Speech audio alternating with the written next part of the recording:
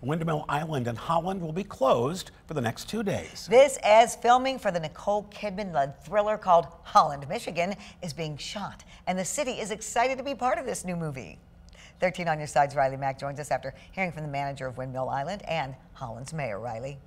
Kirk and Juliet, Matt Helmus, the development manager of Windmill Island Gardens, says he is so excited to be part of the movie Holland, Michigan that'll be filmed here. He believes this will give the town more advertising and notoriety. The film, which does not yet have a release date, is set in Holland and is centered around a woman who suspects her husband of cheating and discovers a dark, secret life, according to the International Movie Database. A casting agency hired dozens of extras to work on the film for the next two days. Helmus says Win Windmill Island has been busy preparing for Tulip Time, making sure the park is beautiful for both the festival and for filming. We're preparing now for our Tulip Time Festival in early May. So really the park itself, um, our staff has done an amazing job getting ready for that. And that we welcome 50 plus thousand people here for that week long festival. So really it didn't take a whole lot of extra work. Those tulips were planted in the fall.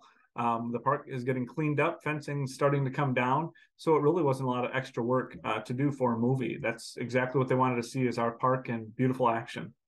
There's no word as to whether Nicole Kidman is in Holland for these two days of shooting, but it appears that this portion of the movie may only contain extras. The city of Holland has cameras throughout downtown that can stream live, including a camera that's catching much of the action on set.